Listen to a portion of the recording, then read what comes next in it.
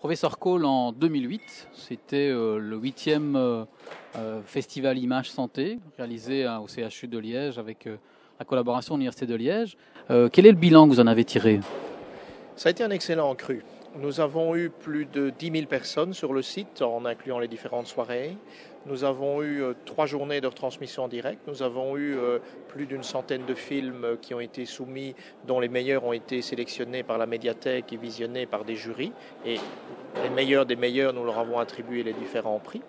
Et d'autre part, nous avons euh, pour la première fois utilisé le principe d'une web TV pour laquelle nous avons eu euh, beaucoup de succès avec plus de 5000 connexions euh, différentes pendant toute la semaine du festival. Donc c'était un très bon cru. Alors nous sommes euh, à la croisée des chemins puisque nous sommes en, 2009 et 2010 un nouveau festival Image Santé. Alors est-ce que celui de, 2010 sera aussi bon, voire meilleur que celui encore que, que 2008 bah, écoutez, on espère toujours de continuer à se développer et je crois que c'est important. Euh, donc oui, euh, on espère évidemment qu'il sera au moins aussi bon et probablement encore avec probablement plus de rayonnement. Et donc euh, ce festival, ce sera sa neuvième édition puisque comme vous l'avez rappelé, c'est une biennale. Les dates qui sont prévues sont celles du 15 au 20 mars 2010. Les nouveautés, bah, c'est notamment euh, le passage à quatre jours de retransmission médicale et chirurgicale, donc trois jours consacrés à la chirurgie. Donc en bref, le mardi pour ce qui est euh, médical et le mercredi, le jeudi, vendredi de la semaine du 15 mars en question pour ce qui est chirurgical. Les films, ça reste le même principe. Donc la médiathèque sélectionne et est en train de sélectionner les films. Euh, ils seront classés entre ceux qui sont éliminés, ceux qui sont projetés en compétition, évidemment visionnés par les jurys, euh, qui sont déjà constitués, et les films qui sont projetés hors compétition. Euh, nous allons également réitérer le principe de la Web TV en espérant qu'il y aura encore un rayonnement supplémentaire et cela permet aussi bien à l'intérieur du CHU que de l'université, euh, pour ceux qui ne peuvent pas venir au festival à certaines heures de la journée, bah, d'y participer, de vivre l'événement en direct. Et ça permet aussi, bien entendu, euh, de sortir bien au-delà au niveau de la province, au niveau de la région wallonne et en dehors des frontières du pays, on l'espère vivement.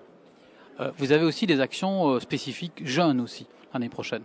Ça, c'est un point très important, c'est que nous accueillons depuis déjà plusieurs éditions de très nombreuses écoles, plusieurs milliers d'étudiants en fait, aussi bien euh, du secondaire que du supérieur, des hautes écoles et de l'université.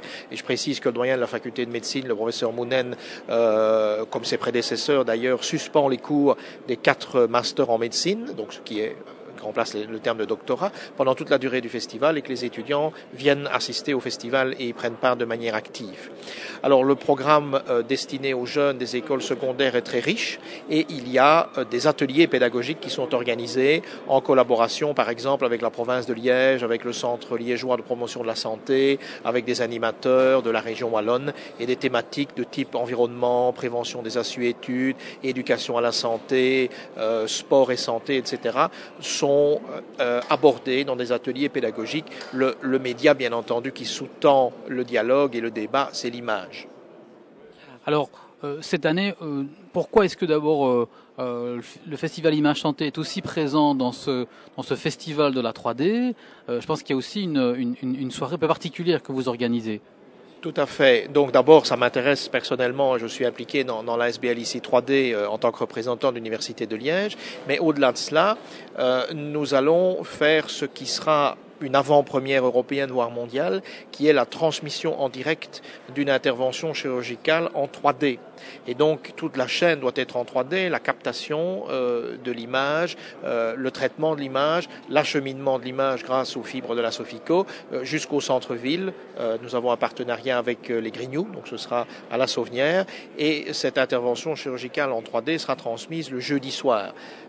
donc dans la semaine du festival. Et ça, c'est une première. Et c'est du live avec donc un duplex son, c'est-à-dire la possibilité pour toute personne qui participe de poser des questions. Et ça me permet d'ailleurs de rappeler que les retransmissions en direct, que ce soit celles en 3D ou celles pendant la journée, qui sont transmises à la salle académique Place du 20 et dans les auditoires de la faculté de médecine au CHU du Sartillement, sont non seulement ouvert, mais destiné au grand public. Et tout qui souhaite poser une question euh, parce qu'il a, euh, aura ou pourrait avoir, soit lui-même, soit dans sa famille, soit un proche, une intervention au niveau d'une cataracte, au niveau d'une vésicule biliaire, au niveau d'une prothèse euh, orthopédique au niveau cardiaque, tout cela est l'objectif, c'est de pouvoir le voir, c'est de pouvoir poser des questions, c'est de pouvoir finalement dédramatiser un élément important.